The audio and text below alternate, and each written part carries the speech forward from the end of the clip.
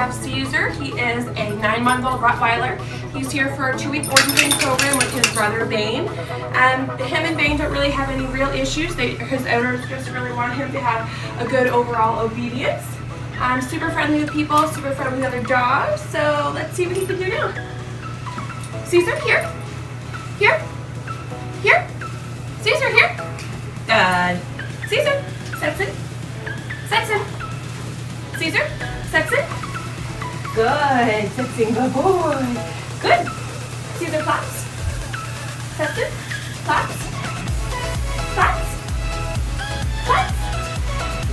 Oh, okay, so he does know how to sit. We are using German commands for these guys. And so we look forward to showing you how their transformation is in two weeks. Hey, hey guys, this is Sarah with Off Canine Training. Here I have Bane. Um, he is here with his brother. They're here for a two-week board and program. Uh, no real issues, just I'm getting a good overhaul of basic obedience in advance. Let's see what he knows. Bane, here. Bane, Bane here. Bane,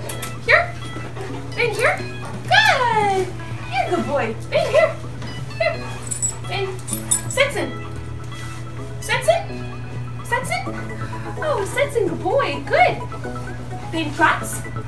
Nope. Bane. Setson. God. Platz. Platz. Bane. Platz. Nope. Okay. Alright, so he knows how to sit. We're going to work on everything else. We look forward to showing you his reveal video in two weeks as well. Thank you.